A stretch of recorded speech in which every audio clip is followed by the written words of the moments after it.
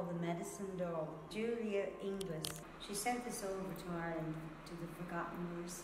The whole idea is that the energy in this tiny little doll with the two children above her head, and she's the mother. But you could go deeper into it when you think of Mother Nature and life and life givers. We were and are life givers.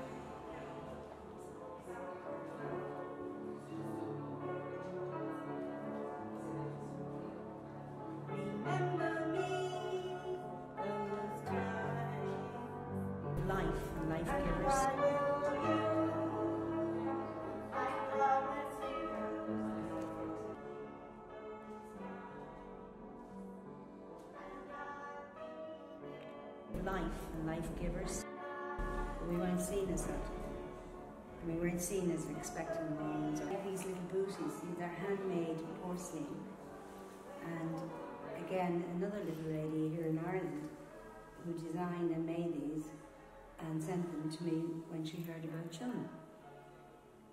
Catholic Church resigned and took girls in like me and, you know, cast aside their real identities put them into places where you became non-human. Like my house name is Tracy, my number was 1725. I speak personally now. In 1973, I was trapped in this institution, but my whole society deemed me unfit to be a mother. This Roman Catholic Church were paid for my well-being, my food, my shelter, my medical care, none of which existed.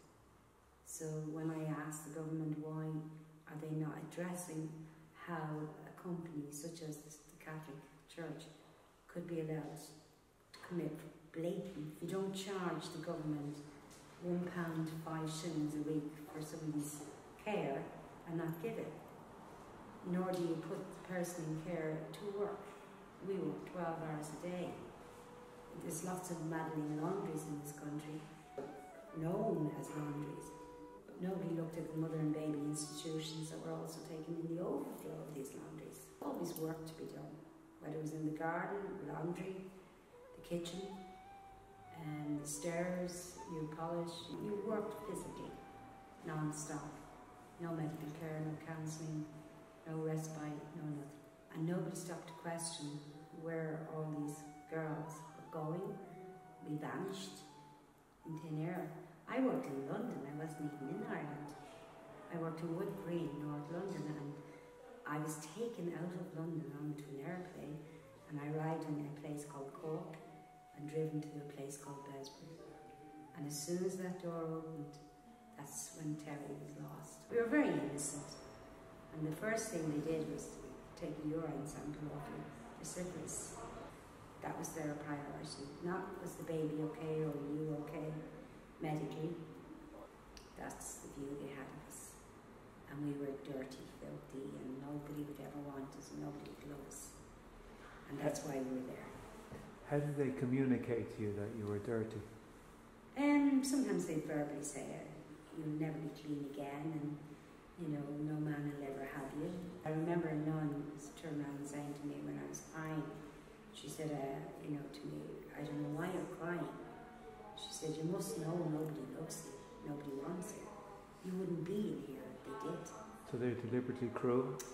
They were, yeah, they were. But then when I look back now, lots of nuns who were trapped in that institution, Mm-hmm. who were put in there by their parents, told they got a calling and they had a vocation and they were going to serve God and marry God and do God's work for the rest of their lives. And why, where did they end up in an institution looking after girls uh, who were pregnant, girls who were giving birth, and girls who were screaming their halls down when they'd take their children from them? So they were very frustrated Very, very. with their own lives? Yeah. It's like the battered wife syndrome, you know, and it, it spilled over. So we were at their beck and call. They had nobody else to take it out except us. Years later, I've heard of um, women who wear these habits say, oh, but we only did God's work and nobody else wanted you. And what would the, where would these girls be only for us? They'd be at the side of the road, blah, blah, blah. But the problem is you have to realise that We had no internet, we had no mobile phones, it was nothing like that. But you had a, a service every Sunday, maybe five or six services in one day, where you had a guy in a white collar up on a pulpit looking down, dictating to people of the week. So he was serving his purpose of making a market for themselves by creating us as the recipients of that market. So therefore, the more we were shunned and the more we were thrown and hidden, and we were the prize that day, the more it was justifiable for them to take the child. You know what the one thing used to bother me most? Why would anybody want a child from me if I was such a bad person? And Maggie attached herself onto me. She was like a little girl still playing with her Barbie doll. And when the child kicked inside her, sure, I had no idea either. I was 18. But she'd run to me and go, oh, you know, Tracy, Tracy, Tracy, you know, like it was a big adventure. And she went hysterical when she went into labour, and, and you could hear the screams down the hallways, you know. And I got up to go down and see if could find her, because she was screaming my name all over the place. And the nun just ushered me and said, get back into your bed, you know, mind your business. We look after her. I never saw Maggie again. She, was, she wasn't anywhere to be seen the next day. The one thing that they did hold us on was a real grounded fear. If you didn't play ball, if you, you know, spoke back or fought back, you did know for certain that the doctors in local hospitals would come and inject you. And if you were lucky, you got to be sedated for a day till you behaved yourself, or you were never seen again. And there is places in with Lomans, Brendan's, it just took one doctor to sign the paper and your life was over. And that happened to many a girl.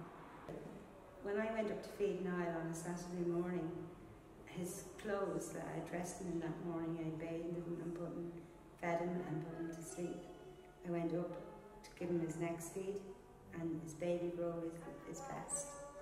his two socks were just left at the end of his cup, his blanket everything that represented him and me was just piled there. He was gone. You know, I couldn't run out into the mountain road and scream the place down. Somebody help, help, help, my baby's been taken. Because a nun took him. She put him in a car and she drove back to Bessborough where I escaped from because I was processed in their books so they would get paid for me I think it was only about six years ago that I got a copy of um, the adoption certificate where they don't even have his name on it, where she'd go in and get them rubber stamped. You know, so a lot of donations and people helping the supporting the nuns with their good work. Um, it's a nice way of saying we didn't buy a child or we didn't give you money for the child you know, and, and the clergy get away with that because they're a charity and donation after donation after donation is not seen as a purchase. Once our child left our bodies, we didn't exist anymore. They didn't even see us when we were carrying our babies. So they just wanted to get their hands on the children that were given birth to white babies. in order to put them through their system that they had in behind the scenes, And, commercially based. and doctors, social workers, guards, barristers, judges, everybody was involved. So you can't just solely say it was the Catholic Church because they couldn't have operated alone. They needed the law, they needed medical, they needed the social workers. It was all wrapped up in a nice parcel, an industry that was a racket that made a lot of people very rich. And these very vulnerable and very young mothers, they were essentially nullified in their personality, nullified in their identity, in order for them to get to the children. Yes. That's exactly what I've always said. Dehumanized. Your baby was taken off you and Mm-hmm. put into a nursery. There was two or three nurseries. These children were locked away, newborn babies, away from their mummies. So it was very engineered, very systemized. Yeah. And then they'd say it's for your own good. And then the mothers then would become a threat. Would have been offered um, uh, a ticket go to, to England, get the boat, get out of Ireland, shame on you. You know, don't anybody know you were ever here.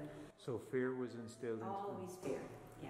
And, a, and, and an indirect threat not to follow up on where their child went. Oh, they- you're told if you ever try and find your child, the police will arrest you Why? Why would the police arrest you? because your child belonged to, to the couple it was hmm. being adopted by. How did they get to the mothers to convince them that their child didn't belong to them? Brainwashing, conditioning. Think of somebody who, who goes into a cult, it takes a while. So by the time the baby is born, you really aren't human and you are the last person in the world to, to try and keep that child. I can see now in retrospect what was going on. I can stand back now and look at the picture. But when I was partaking in the picture, I was a very vulnerable, frightened 18 year old. I can channel my anger through that as well. People that were involved in this. No. No. That's between them and their God. But the one nun, Sister Paul, took him. I've often dreamed about meeting her in a room, face to face. She'll have convinced herself that she'll do the right thing for now. Because that was one thing the nuns would say to you don't be selfish. You have nothing to give this child, absolutely nothing. Do not deprive this child of what they deserve. A good home, a Catholic mommy and daddy. How dare you be so selfish? That's what I got. I read in one of my reports, um, I am so glad that she has gone. She was definitely a very difficult girl to deal with. My difficulty was I would never sign a page. With this exhibition, uh, there's hope that from young people. But the one thing I do hope for is just for transparency of truth. Nobody can change the past. Nobody can undo what was done. But we can make a difference by allowing ourselves to say things happened in the past. They weren't good things. They were bad. They were difficult. But they happened. And I think if, if that's allowed to be out in the open, it's more normal and natural. We deal with no more secrets, no more lies. And that's exactly what Hannah's doing with this exhibition. The exposure of being allowed to say, look, this is part of our history, this is who we are. I wouldn't be the person I am today um, if stuff that happened to me hadn't happened. If I hadn't lost my son, uh, my son hadn't been taken out of his uh, I would not be the person I am now. And you feel that we need to have a really thorough, healthy conversation about Yeah. this as, as our past in order to go forward in the future. Open it up. And that's what this exhibition is all about. Open.